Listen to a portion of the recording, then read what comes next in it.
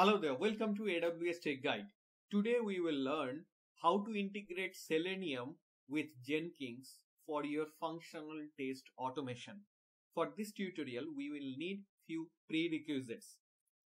If you are following our DevOps series, then you know that how we have created one Spring Boot web application, how we deployed the same in a Tomcat server in AWS EC2. Now there are some tutorials also how to create the functional testing with Selenium WebDriver, Selenium headless browser that is HTML unit driver. You can check our past tutorials video for that. But this video is focused on how we can integrate our Selenium functional testing with Jenkins. So once you are creating a complete automated assembly line to deploy your code to production, the Jenkins will integrate Selenium to create the functional testing report before it goes to production. Our prerequisites are Jenkins setups.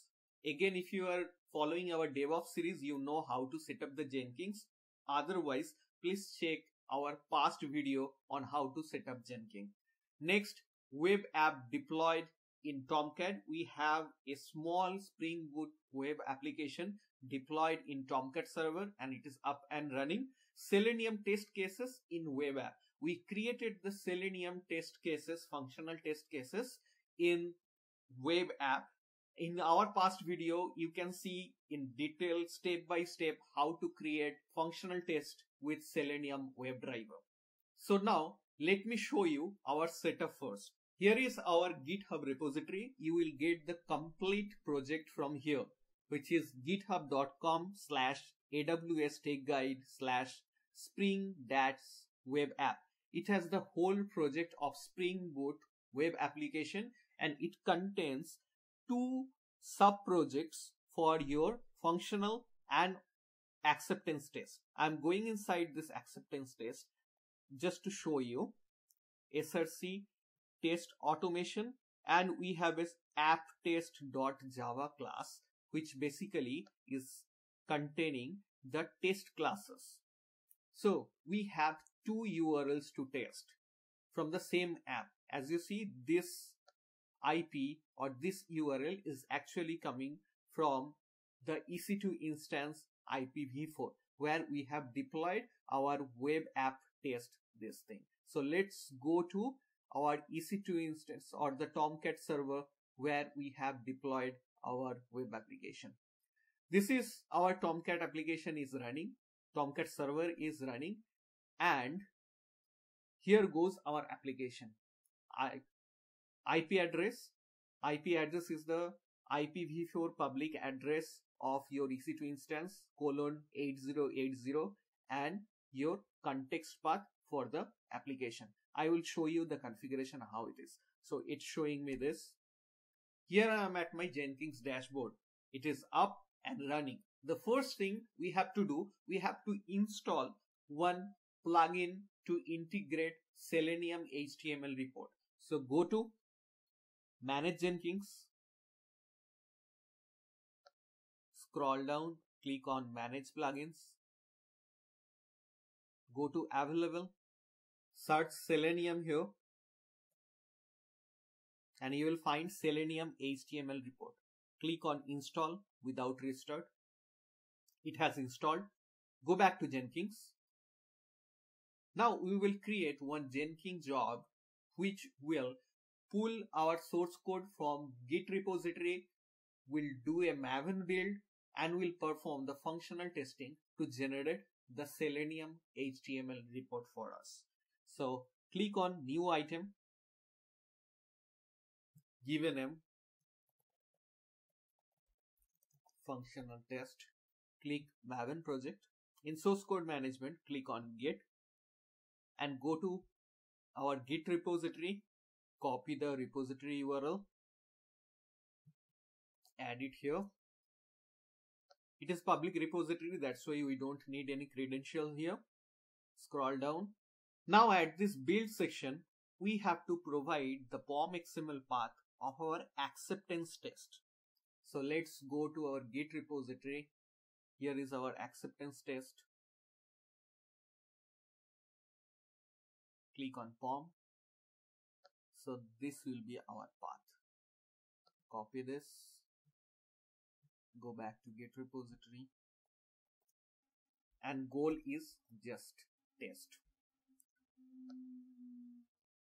Click on add post build action and you should have one option called publish HTML report, but we are not getting that publish HTML report. So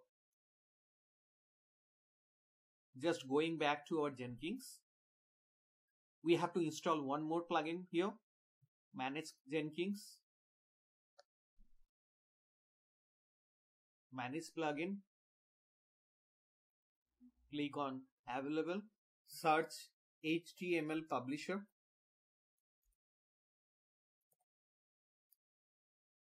Click it, install without restart. It has installed successfully. Now let's go back to our Jenkins dashboard and to our functional test job.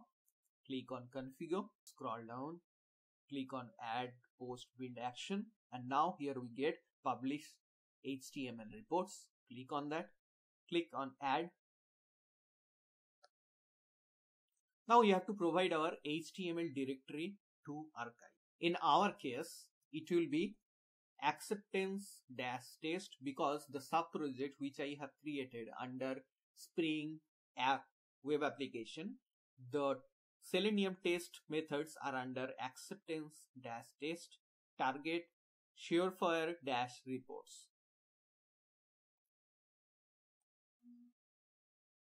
And that's it click on save. Now let me show you one important thing. In our GitHub repository, I'm going inside acceptance test because it will trigger the acceptance test methods from here. Let's go in, click test automation app test.java and as you see that I have mentioned this home URL or products URL or the number of URL you will be selecting here that it is up and running.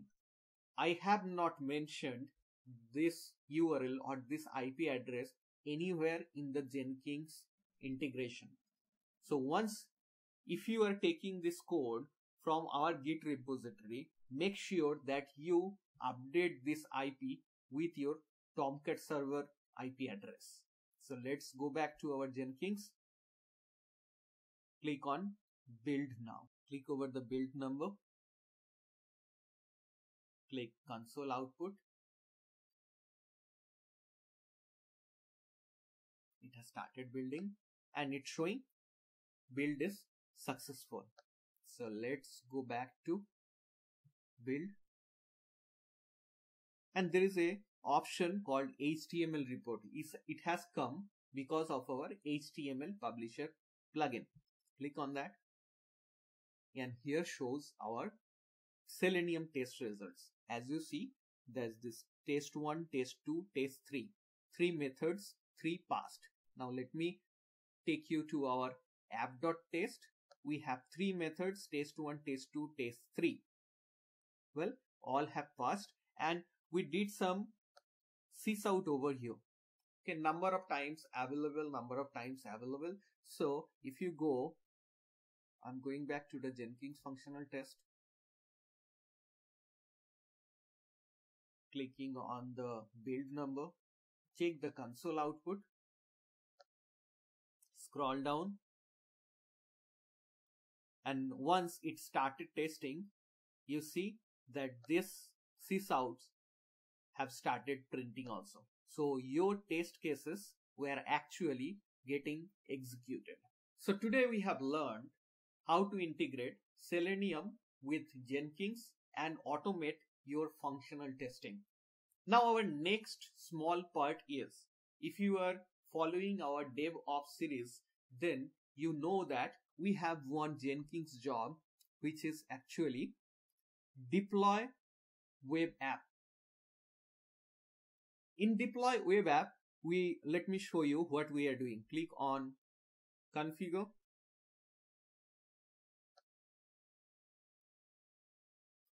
We are pulling the source code from our github repository.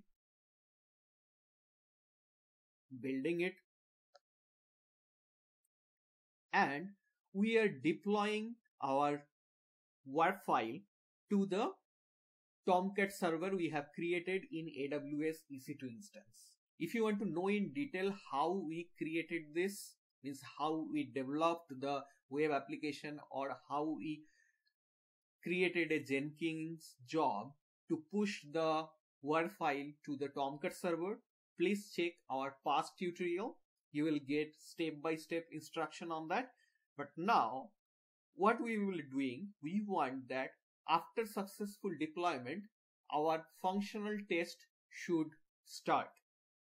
Because normally what we do, we first deploy in QA and then we do our functional testing.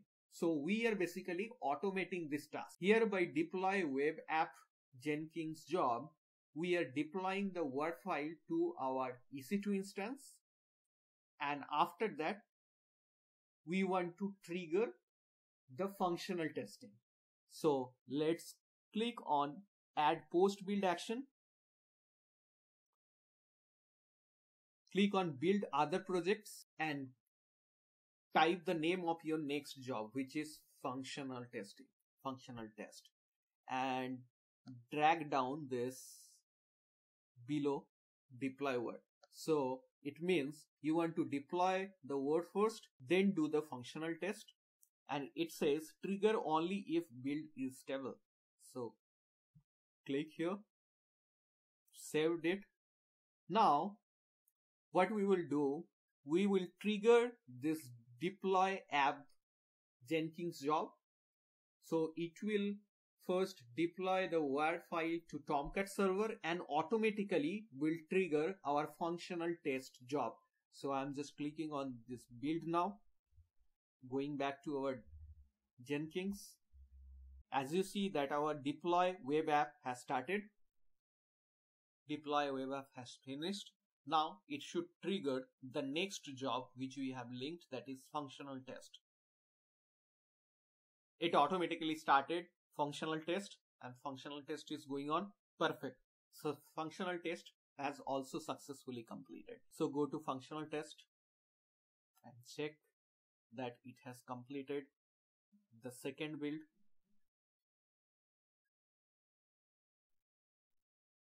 Build was success click on the html report.